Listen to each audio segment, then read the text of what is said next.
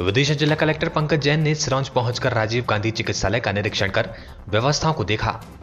बता दें कि कलेक्टर ने औचक निरीक्षण के दौरान अस्पताल में गंदगी और अव्यवस्थाएँ देखी, जिस पर कलेक्टर ने नाराज़गी व्यक्त की।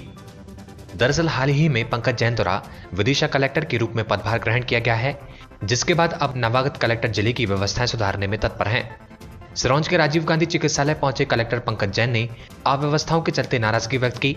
तो वहीं एनआरसी वार्ड का निरीक्षण कर जानकारी जुटाई।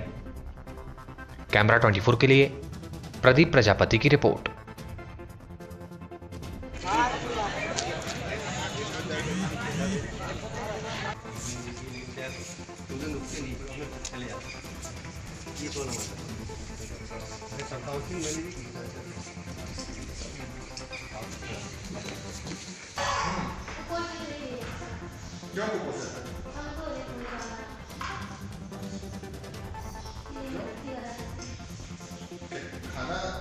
Sering katanya. Sering katanya. Sering katanya. Sering.